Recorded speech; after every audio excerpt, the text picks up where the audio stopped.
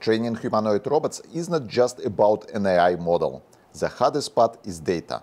Most robot skills comes from slow human demonstrations and teleoperation. Great quality, terrible scale.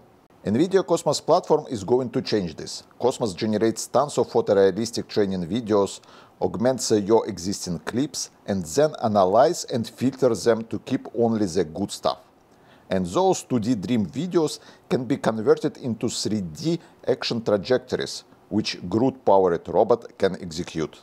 So a small number of real teleoperation runs can explode into a massive dataset of grasps, walking, door opening, whatever motion your robot needs. And now NVIDIA's Cosmos Cookbook gives you step-by-step -step recipes to plug these world models into your own robotic projects, from data generation to curation and evaluation. Would you trust a humanoid robot trained this way? For more info, check the link in the description.